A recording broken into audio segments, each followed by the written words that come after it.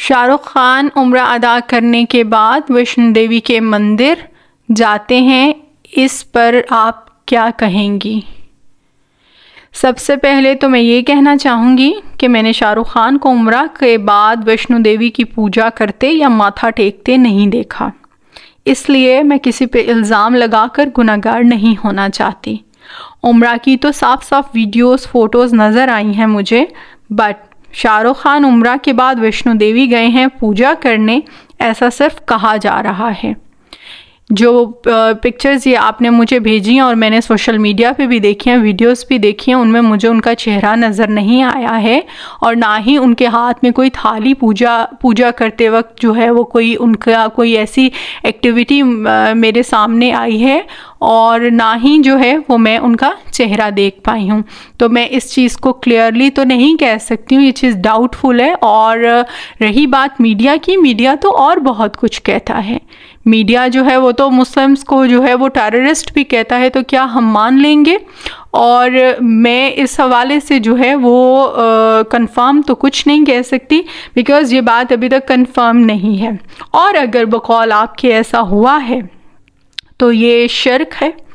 शिरक के हवाले से जो है, वो मैं यही कहना चाहूँगी कि अगर ये ऐसा हुआ है और उसने ऐसा किया है तो ये मुनाफिकत है और शर्क किया है उसने। और जो भी उसके दिल की नीयत है, ये वो जानता है। मैं उस हवाले से मैंने पहले भी जो अपना बयान दिया, उसमें मैंने शाहरुख़ ख़ान की हिमायत नहीं की थी, उसका कोई दिफा नहीं किया था। मैंने जिस अमल को गलत कहा था, वो ये था कि शाहरुख़ ख़ान अगर आप उसको गौर से सुने तो मैंने यही बोला कि एक इंसान अल्लाह का बंदा अपनी इबादत कर रहा है और लोग उसको गालियाँ दे रहे हैं और उस पर फतवे, गलत फतवे लगा रहे हैं। उसकी दिल की नीयत क्या है? उसको किसी को भी जज करने का कोई राइट नहीं है। ये तो फिर मुसलमान है, अगर कोई काफिर या कोई भी सनातन धर्म का होता या किसी भी धर्म का होता, वो अपनी इबादत कर रहा होता और उसकी इबादत के दौरान अगर कोई उसको बुरा भला कहा, कह रहा होता तो ये किसी भी धर्म में जो है वो अच्छा नहीं माना जाता। या उस चीज़ को जो है वो, ये कोई अच्छा अमल नहीं है कि इबादत के दौरान आप किसी को बुरा भला बोलें। तो मैंने इसी हवाले से बोला था और दूसरा जो है वो अगर अभी बकौल आपके कि ऐसा हुआ है और उसने जो है वो आ, किया उम्र अदा करने के बाद जो है वो मूर्ति पूजा अगर उसने की है आई डोंट नो मैं इसके ऊपर अभी कुछ कंफर्म नहीं हूँ।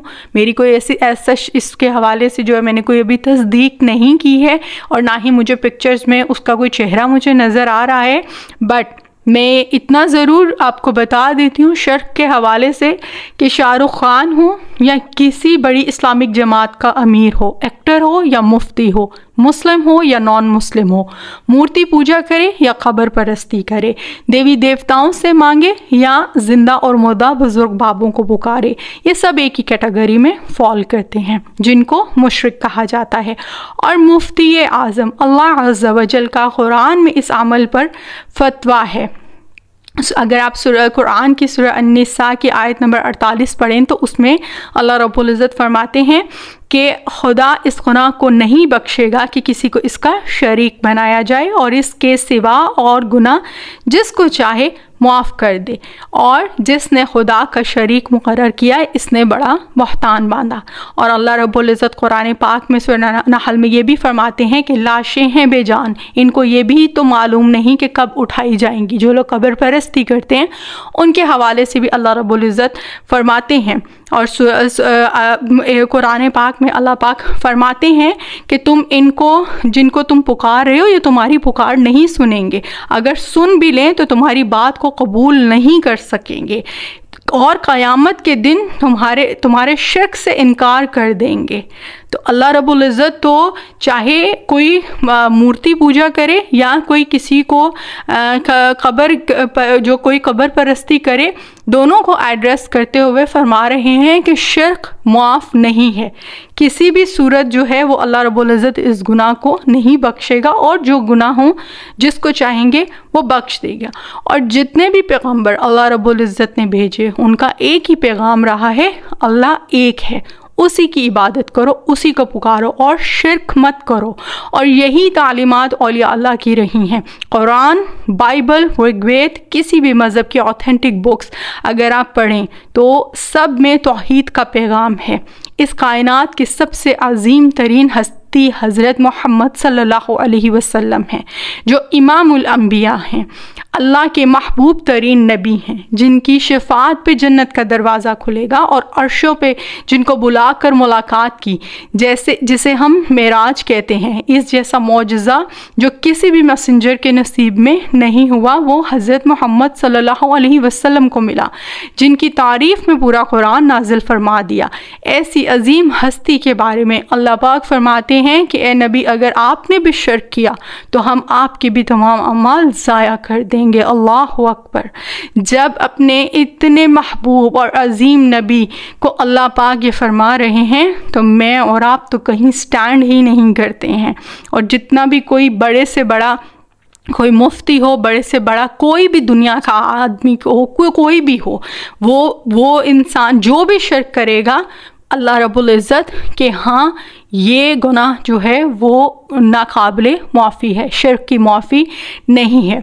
अल्लाह पाक ने शाहरुख़ खान को हिदायत दी, उसने काबा से निकल कर मंदिर जाकर शिरक कर दिया, बकौल आपके सेम वैसे ही। मज़ार या दरबार के साथ मस्जिद में, नमाज़ में ईया कनाबुदू व ईया कनस्ताइन पढ़ने वाले नमाज़ से फारिग हो के साथ ही दरबार या मज़ार पे हाज़िरी देते हुए, या मदद फ़ुलाँ या मदद फ़ुलाँ कहते हैं। जब मदद के लिए किसी और को पुकारते हैं और वहीं मन्नतें, मुरादें मांगते हैं और मदद के लिए उनको पुकारते हैं तो जिनके बारे अल्लाह पाक कुरान पाक में फरमा रहे, ये तो लाशें हैं बेजा। तो ये जो, ये ये जो भेज तो ये जो कहा जाता है तो ये इतनी इतनी ज़्यादा जो ये तनकीद का निशाना सिर्फ़ शाहरुख़ खान या आमिर खान या सलमान खान को ही क्यों बनाया जाता है? दीन के ठेकेदारों को ये अकल की बात क्यों समझ नहीं आती है कि ये अपने साथ साथ लाखों लोगों को, अपने साथ साथ जिन ये लोग गुमराह करते हैं? जो ये इस इस तरफ़ इन लोगों को लगाते हैं और कब्र परस्ती करते हैं, मूर्ति पूजा हो या कब्र परस्ती हो, बात तो एक ही है। क्या डिफरेंस है? वो लोग मूर्ति वो वो लोग वहाँ मंदिर जाके जो है वो मूर्तियों से मांगते हैं ये लोग कब्रों से मांगते हैं? तो शर्क तो दोनों ही कर रहे हैं। तो तनकीद का निशाना सिर्फ़ और सिर्फ़ वो वही लोग क्यों बना दिए जाते हैं? इन लोगों को के बारे में कभी तनकीद क्यों नहीं की जाती है? इस इस दर्जा में इस हद तक क्यों नहीं तनकीद की जाती है? इस तरह से इनको इनको इन, इनके बारे में भी जो है वो बोलना चाहिए। तो ये इस हवाले से कि अपने साथ साथ कितने और लोग, उनको तो चलो कोई लोग फॉलो करें या ना करें, इनको तो लाखों लोग फॉलो कर रहे हैं, जो अपने साथ साथ लाखों लोगों को लेके जाते हैं मज़ारों पे, दरबारों पे, और वहाँ पर जाकर क्या क्या बोलते हैं, क्या, और उनमें जो है वो वो वो शर्त नहीं है तो क्या है?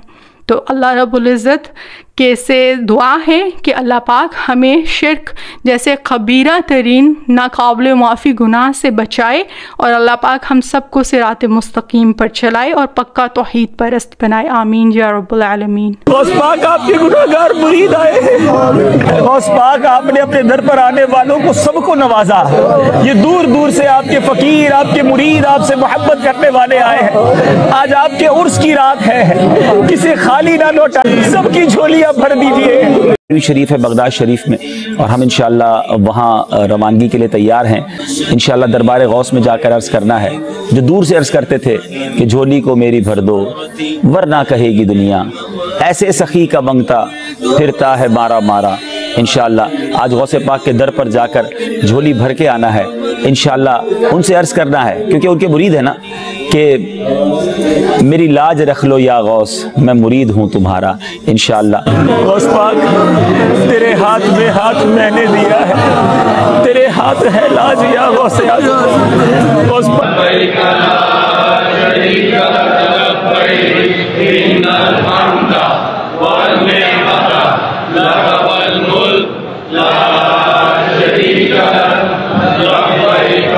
आईएमएफ से जो मांगने जाते हो हम्म। तो कभी यहाँ के भी अर्ज़ कर दो गंज बख्शे फैज आलम मदहरे भाई क्या कहने खुदा तुम्हें हिदायत दे। हम्म। तुम्हारी अकल पे पत्थर पड़ गए। ये हुजूर नबी सलाम का फैज है। अल्लाह। इधर से नहीं खजाने खत्म हो गए।